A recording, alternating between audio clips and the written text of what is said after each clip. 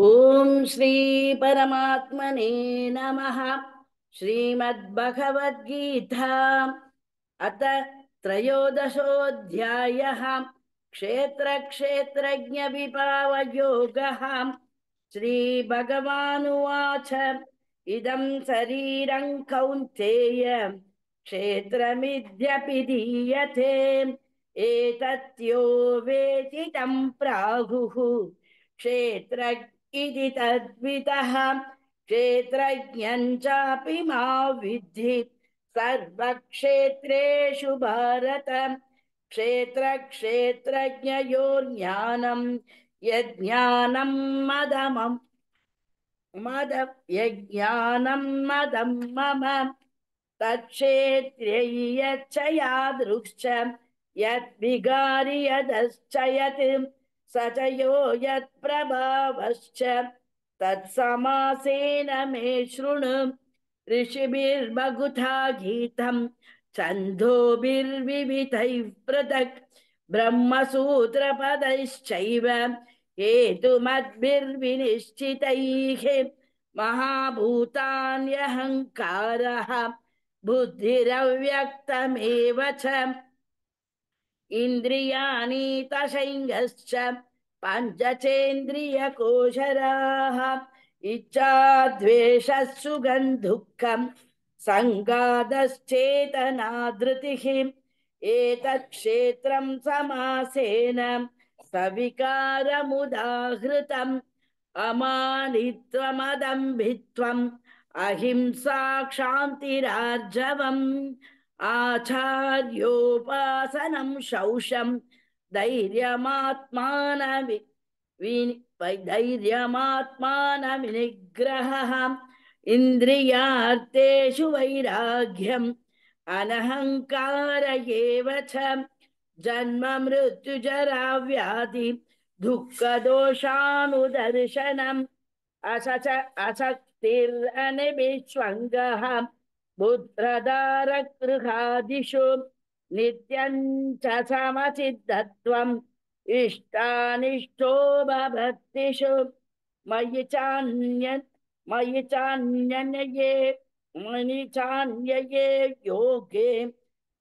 मयि चान्ययोगेन भक्तिरव्यपिचारिणि विविक्तदेशसेवित्वन् अनधिर्जनशंसति अध्यात्मज्ञाननित्यत्वं तत्त्वज्ञानार्थदर्शनम् एतज्ज्ञानमिति प्रोक्तम् अन्यानैयततोऽन्यथा ज्ञेयैयत्तप्रविक्ष्यामि यज्ञात्वामृतमश्नुते अनातिमत्परं ब्रह्म न सत्तन्नासदुष्यते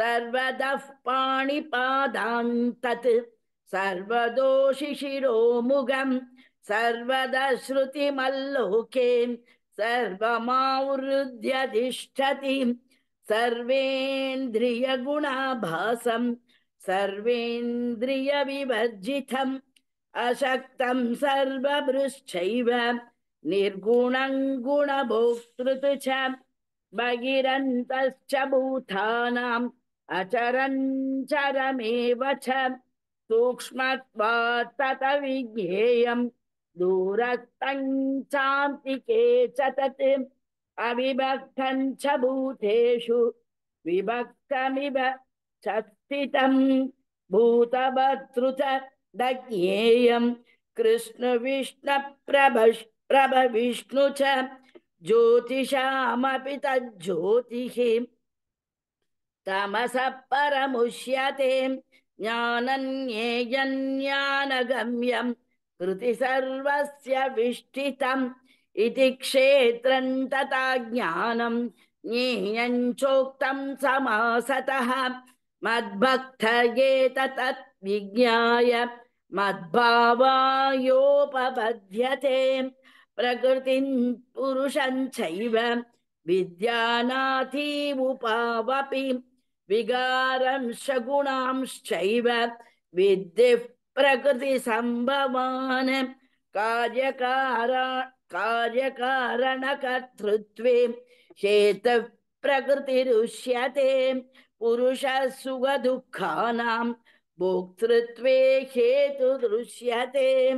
पुरुष प्रकृति स्तोखी भुंक्ते प्रकृति जान गुणान, कारण गुण संगोत्य सत सत योनि जन्मसु उपद्रष्टानुमन्था च भक्ता भोक्ता महेश्वरः प्रमात्मेति चाप्युक्तः।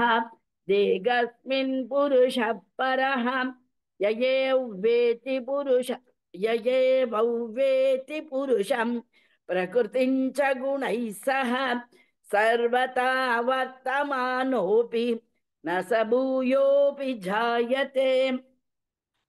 ध्यानेनात्मनि पश्यन्ति, केचिदात्मानमात्मनाम्, अन्ये साङ्ख्येन योगेन कर्मयोगेन चापरे अन्ये त्वमजनामजानन्दः श्रुत्वान्येभ्य उपासते तेऽपि चातितरन्त्येव मृत्युं श्रुतिपरायणाः।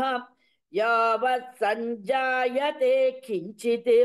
सत्वं स्त्वावज सत्वं सावरजङ्गमं क्षेत्रक्षेत्रज्ञ यो तात्तत् क्षेत्रक्षोत्रज्ञयो योगात्तत् विद्धि पर प्रदर्शभ समं सर्वेषु भूतेषु तिष्ठन्तं परमेश्वरं विनश्यत्व विनयस् विनयत्व विनश्यन्तं यः पश्यति स पश्यति समं पश्यन् हि समं पश्यन् हि सर्वत्र समवस्थितमीश्वरं न हि नस्यात्मनात्मानं ततो यादि गतिं प्रकृत्यैव च कर्माणि क्रियमाणानि सर्वशः यः पश्यति यः पश्यति ततात्मानम् अकर्तारं स पश्यति यथा भूतप्रकृद्भावम्।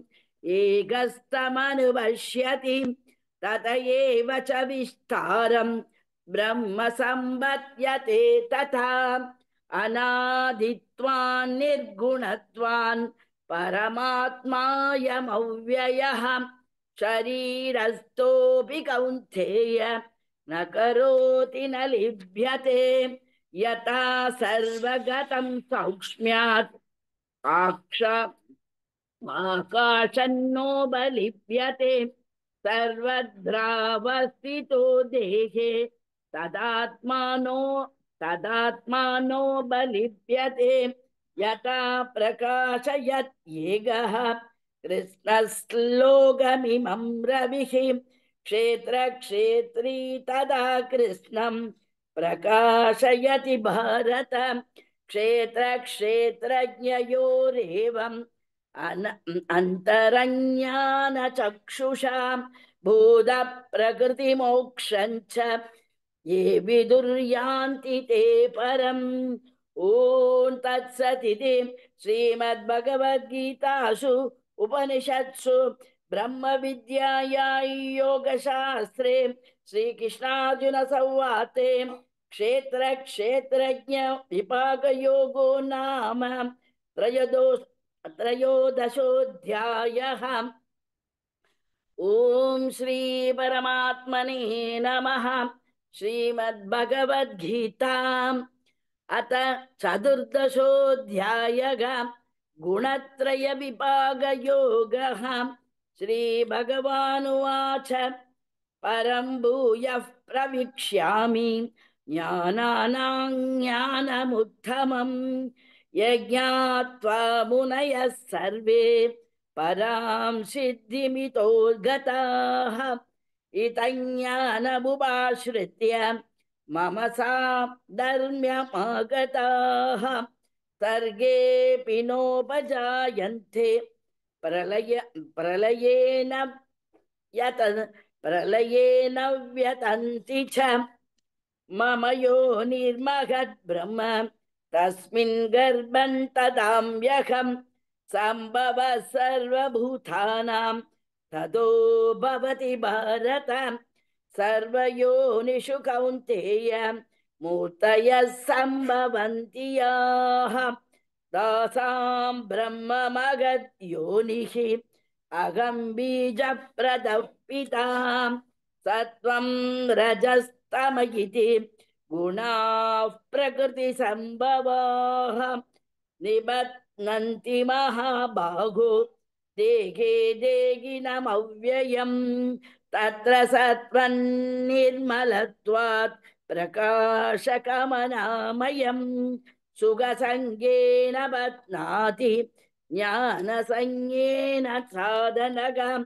रजो रागात्मगौ विद्धि तृष्णा सङ्गसमुद्भवम् तन्निबध्नाति कौन्तेय कर्मसङ्गेन देहिनम् तमस्त्वज्ञानौ वित्तमस् तमस्त्वज्ञाननौ विद्धि मोगनं सर्वदेहिनां प्रमाद प्रमादालस्य निद्राभिः तन्निबध्नाति भारत सत्त्वं सुखे सञ्जयति रजः कर्मणि भारत, ज्ञानमावृत्य तु तमः प्रमादे रजस्तमश्चापि भूय। सत्त्वं भवति भारत। रजः तमश्चैव। तमः सत्त्वं रजस्तथा। सर्वद्वारेषु देहोऽस्मिन् प्रकाश उपजायते ज्ञानै यथा तथा विद्यात्। विवृद्धं सत्त्ववि, सत्त्वमित्युत लोपः प्रवृत्तिरारम्भः कर्मणा मनसु स्पृहाम् रजस्येतानि जायन्ते, विवृद्धे भरदर्शभ अप्रकाशो प्रवृत्तिञ्च प्रमादो मेघ एव च तमस्येतानि जायन्ते विवृत्ते गुरुनन्दन।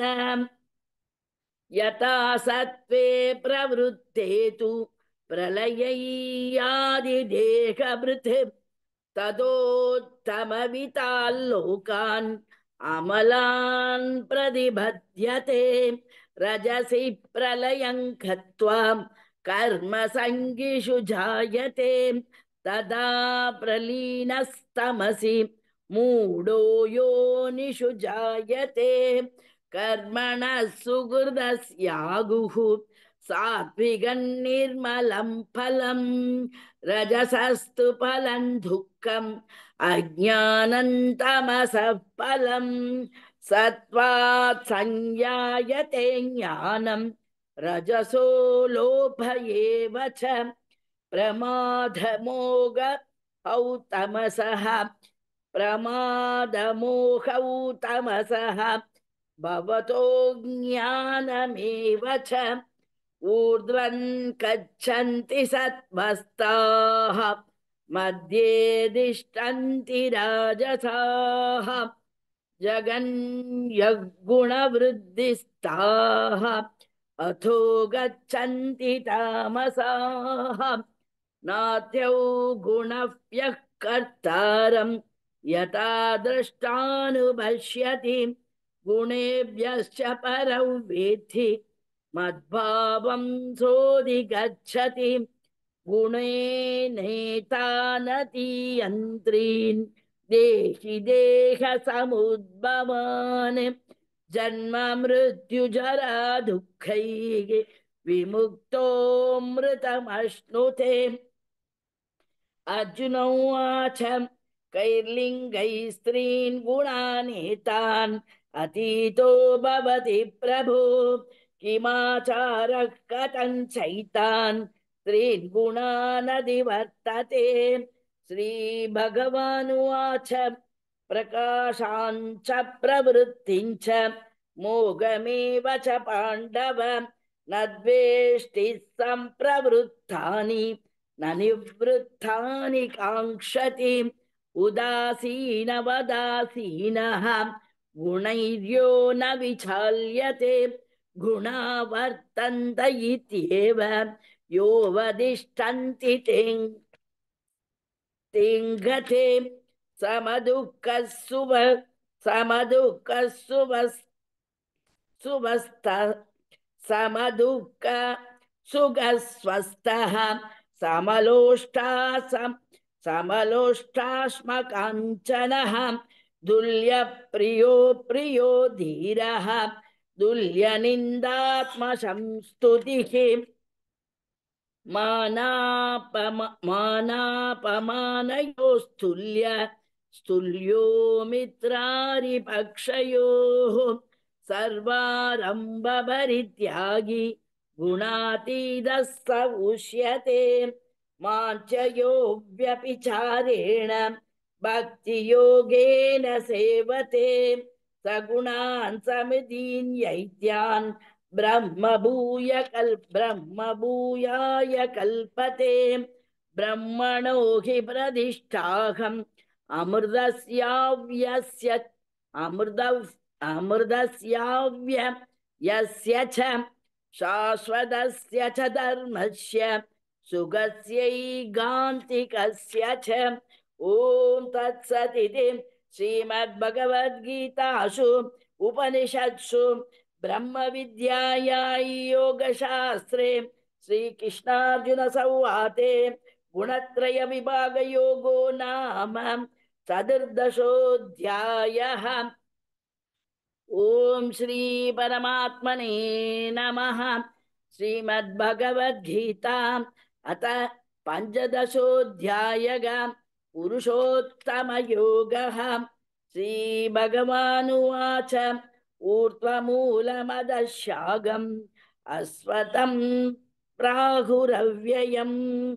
छन्दांसि यस्य पर्णानि यस्तौ वेद स वेदवित्। अशेत्सोत्वां प्रकृतास्तस्य शागाः गुणा प्रवृत्ता विश्य प्रभवा प्रबालल குணா பிரவருத்தா விஷய பிரபாலாக அதச்ச மூலான்யனுசந்ததானி கர்மானுபந்த பந்தீனி மனுஷ்ய லோகே நரூபமஸ்யேக ததோபியல ததோ ததோபிய ததோபலப்யதே நன் நாந்தோ ந சாதிர் ந சம் प्रतिष्ठा अश्वत्थमेनां सुविरूढमूलं सङ्घर्ष असङ्गशस्त्रेण दृढ दृढे च सित्वाम् ततः पदं तत्परिमार्खितव्यम् यस्मिन् गदा न निवर्तन्ति भूयः। तमेव चाद्यं पुरुषं प्रबध्ये यतः प्रवृत्तिः प्रसु प्रसुता पुराणी निर्माणमोघाजितसङ्गदोषाः अध्यात्मनित्या विनिरुक्तकामाः त्वन्पैर्विमुक्ता सुखसु सुखदुःखसञ्जैः गच्छन्त्यमूढाः पदमव्ययन्तत् न तत्पासयते सूर्यः न शशाङ्को न भावकः यद्गत्वा न निवर्तन्ते तत्तामपरमं मम। ममैवांशो जीवलोके जीवभूतः सनातनः मनःषष्ठ मनःषष्ठान्द्रियान् मनःषष्ठान्द्रियान् प्रकृति। प्रकृतिस्थाति मनःषष्ठान्द्रियाणि प्रकृतिस्थानि कर्ष्यति। शरीरैयतवाप्नोति यच्चाप्युग्रामधीश्वरः गृहीत्वैतानि संयाति वायुर्गन्धानि श्रोक्तम् चक्षुष स्पर्शन् चरसङ्करणमेव च अधिष्ठाय मनश्चायं विषयानुपस विषयानुपसवते। उत्क्राममन्तम् उद्ग्रामं सं वापि पुञ्च। उत्क्रामन्तं स्थितौ वापि भुञ्जानौ वा गुणान्वितम् विमूढादानुपश्यन्ति। पश्यन्ति ज्ञानचक्षुषः। यदन्तो योगिनश्चैवं पश्यन्त्यात्मन्यवस्थितम्। यद्धोऽप्यकृतात्मानः। नैनन् पश्यन्त्य चेदसः यातिदिद्यगदन्तेजः। जगत्पादयदेखिलम् यस्यन्त्रमसि यज्जाग्नौ तद्धोजो विद्धि मामखम् कामविश्य कामविश्य च भूतानि धारायां यगमोजसां पुष्णामि पुष्णामि सर्वाः सोमो भूत्वा रसात्मकः अगौ वैश्वानरो भूत्वा प्राणिनां देगमाश्रितः प्राणापानसमायुक्तः पाचाम्यन्नं च दुर्वितम् सर्वस्य सागं हृदि सन्निविष्टाः। मत्तः समृद्धिर्ज्ञानसं ममोग ममोगनश्च वेदैश्च सर्वैरगमेव वेद्यः वेदान्तकृत् वेदविदेगशागम् द्वाविमौ पुरुष लोके क्षरक्षार क्षरक्षा क्षर एव च क्षरः सर्वाणि भूतानि कूढस्थोऽक्षर उज्यते उत्तम उत्तमौ पुरुषस्वन्त्यः परमात्मेत्युदाहृतः। यो लोक यो लोकत्रयमाविश्यः पिब बिभर्त्यव्य बिभर् बिभर्त्यव्यव्य ईश्वरः यस्माक्षरदिमो यस्माक्षरमदीमो मदीदोहम् अक्षरादभिचोत्तमः अधोऽस्मि लोकवेदे च प्रतित्तः पुरुषोत्तमः। यो मामेवमसम्मूढः। जानानि पुरुषोत्तमम्। स सर्वविद्भजति मां सर्वभावेन भारत इति गुह्यमतं शास्त्रं मुक्तम् मुक्तं माया इति गुह्यतमं शास्त्रम् इदमुक्तमं मया नख एतद्भूत्वा बुद्धिमान्।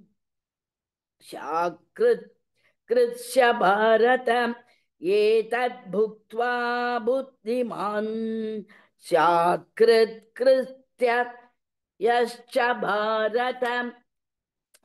ॐ तत्सदिति श्रीमद्भगवद्गीतासु उपनिषत्सु ब्रह्मविद्याया योगशास्त्रे श्रीकृष्णार्जुनसंवादे पुरुषोत्तमयोगो नाम पञ्चदशोऽध्यायः सर्वधर्मान् परित्यज्य मामेकं चरणौ व्रज अहं त्वा सर्वपाप्येभ्यः मोक्षयिष्यामि मा शुचः